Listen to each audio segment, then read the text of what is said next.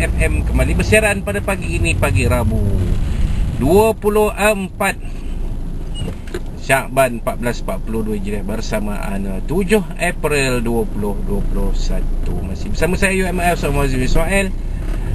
Bertanya khabar kepada anda semua. Apa khabar anda semua Kamu semua Kita semua? Mudah-mudahan ya, Semua kita dalam keadaan Afiat dan ya dikurniakan kesihatan dan keafiatan dan berada dalam pemberian Allah SWT serta dijauhkan daripada sebarang mara bahaya sebarang musibah sebarang bar bencana sebarang wabak penyakit terutama yang wabak COVID-19 dan uh, mudah-mudahan kita akan meneruskan kehidupan kita seperti mana biasa ya pada pagi ini uh, walau kita telah berada di tempat kerja di uh, di sekolah di pejabat di uh, uh, premis penjagaan uh, di sawah, di ladang, di kebun dan di mana saja tempat kita mencari rezeki. Eh, mudah-mudahan Allah SWT memberikan rezeki, menggunakan rezeki kita yang ber, yang halal lagi berkat untuk uh, di uh, kongsikan bersama isteri kita, suami kita, anak-anak kita, di keluarga kita dan mudah-mudahan segala kerja kita pada hari ini adalah ibadah kepada Allah SWT jua insya-Allah. Jadi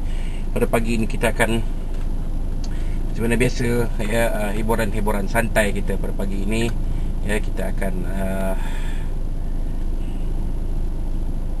mulakan dengan uh, lagu ya lagu apa ni uh,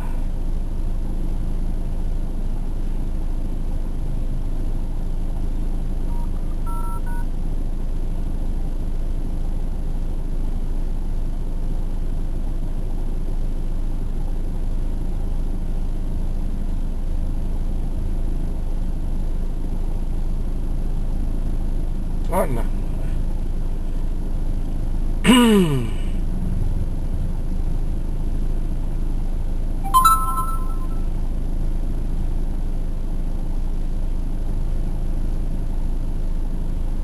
Ya pagi ni mungkin kita hanya berceloteh sahaja Berceloteh sahaja. Kita tengok Apa yang kita boleh uh, Gangguan teknikal ini eh. Mudah-mudahan ianya tidak uh, berpanjangan.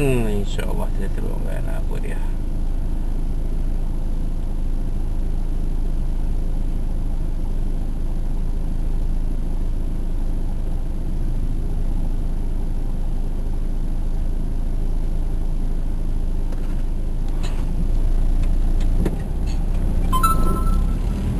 Ya, ya, ya. Dan pada pagi ini uh, mungkin uh, kerana sebab-sebab tertentu maka kita akan uh, berbicara saja pada pagi ini berbicara saja pada pagi ini ya. Jadi uh, hari ini pun ada 24 Syakban kita semakin mendekati hujung Syakban uh, yang mana uh, 29 Syakban jatuh pada hari Isnin. Pada hari Isnin iaitu uh, 12 April 2021 di mana pada petang itu ya akan diadakan majlis cerapan anak bulan ataupun uh, dinamakan juga sebagai hilal hilal bulan Ramadan di tempat-tempat yang terpilih di seluruh negara. Ah, ya,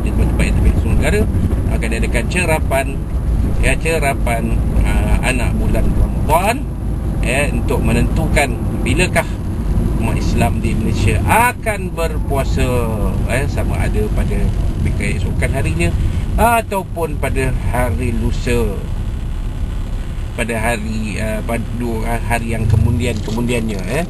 Uh, walaupun kalau dalam kiraan falak eh uh, satu Ramadan akan jatuh pada 13 April 2021 uh, namun demikian kaedah uh, kaedah syarak ataupun kaedah uh, uh, agama Islam kita telah menetapkan bahawa uh, penentuan tarikh anak bulan uh, Ramadan dan juga Syawal nanti akan berdasarkan kepada imkanur ru'yah iaitu dilihat uh, majlis pencerapan anak bulan ini akan mengesahkan kiraan falak yang yang dibuat. Uh, jadi itulah dia. Eh, jadi kalau ikut kiraan dia anak bulan akan kelihatan eh, akan kelihatan pada pada petang 12 pada akhir petang 12 uh, April 2021 itu bermakna hari keesokannya akan pada malam itu juga akan bermulanya satu Ramadan dan umat Islam bolehlah uh, ber, uh, mengunjungi masjid dan surau di tempat masing-masing untuk mengerjakan solat tarawih untuk malam yang pertama.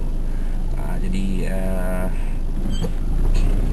ya mengikut SOP yang ditetapkan oleh pihak berkuasa agama Islam negeri masing-masing eh negeri masing-masing ya. Uh, jadi SOP yang telah ditetapkan itu akan kita patuhi untuk memastikan ya tiadanya kluster tarawih. Ha yang ni yang kita nak elakkan kluster tarawih.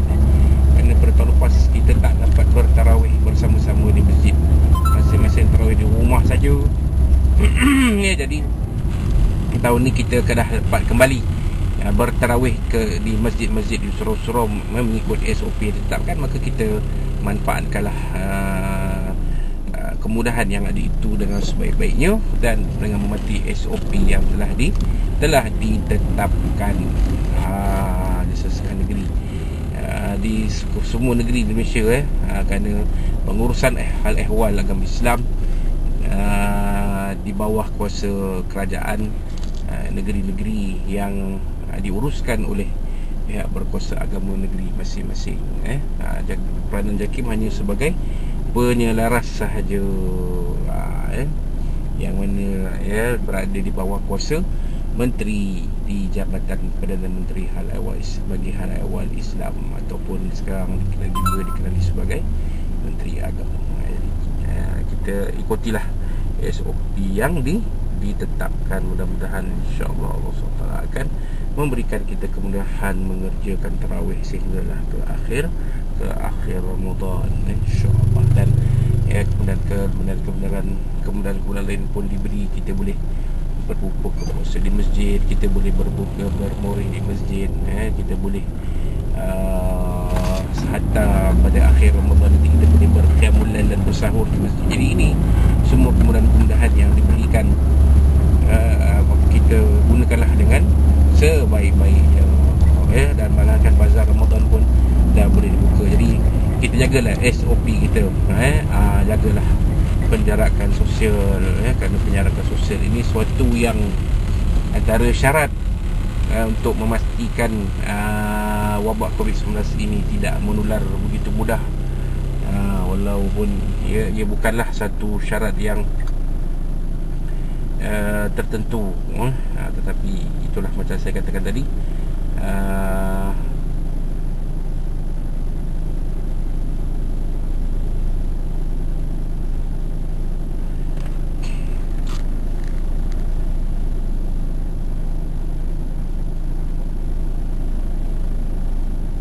macam saya katakan tadi um, uh, peluang kita memperbanyakkan ibadah pada bulan Ramadan ini ya, wajar di manfaatkan bersama-sama insyaAllah mudah-mudahan Allah SWT akan mempermudahkan urusan ibadah kita. Pada bulan Ramadan yang akan bakal menjelang nanti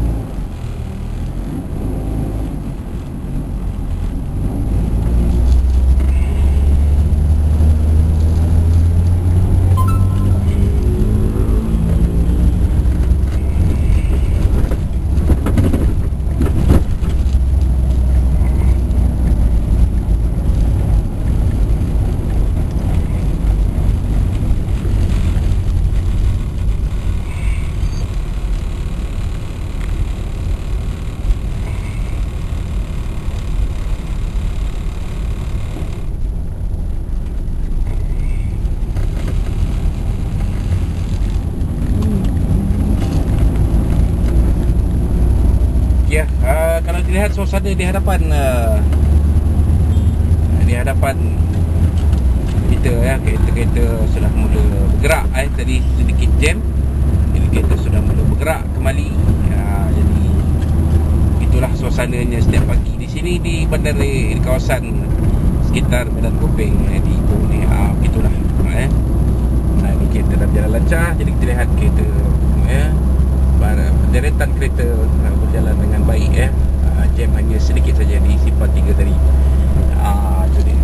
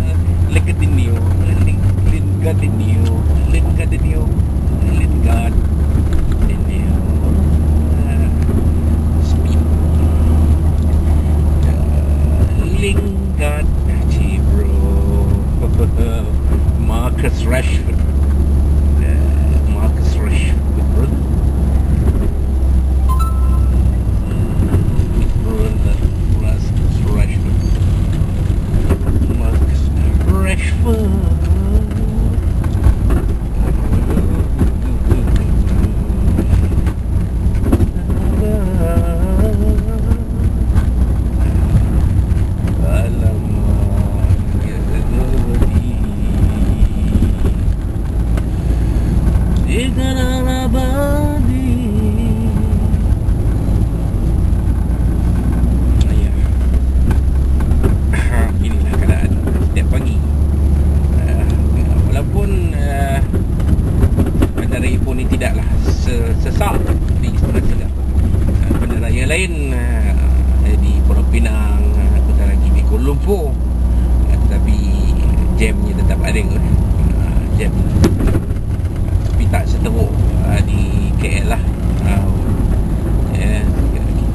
Dengar uh, sahabat-sahabat di Kuala Lumpur uh, masuk kerja pukul 9 pukul lepas subuh dah gerak eh. Mana dua setengah jam dua jam lebih berada di dalam kenderaan ada yang subuh di pertengahan jalan pun ada eh. jadi ini uh, suatu perkara yang uh, yalah, uh, kalau di tempat lain ni agak janggal eh. terutama di kawasan luar bandar kepada pakcik-pakcik macam-macam di kampung ni ya yeah, harap memahami lah situasi anak-anak kita di bandar besar ni ha, ya, lebih-lebih lagi dalam keadaan COVID-19 ni di mana ramai yang diberhentikan kerja ya, ramai yang terpaksa berniaga untuk uh, meneruskan kehidupan ya. jadi kita cubalah ya, uh, yang terbaik untuk diri kita insyaallah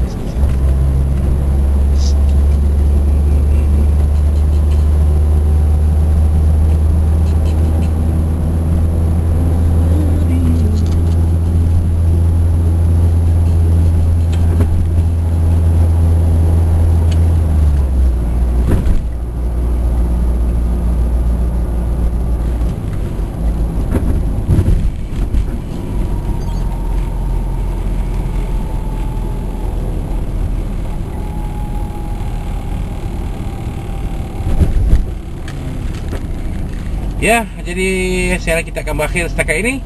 Ya, saya UMS Ismail mendoakan semua agar kita dalam pilihan Allah SWT sehat walafiat dan di doakan dia ubat bersama dan insyaAllah kita kita akan lebih baik pada hari ini uh, dari lebih dari semalam dan insyaAllah pada hari-hari akan datang dan siaran ini kita tangguhkan dulu dengan kalam mula bila dia topik Assalamualaikum warahmatullahi wabarakatuh Bye-bye.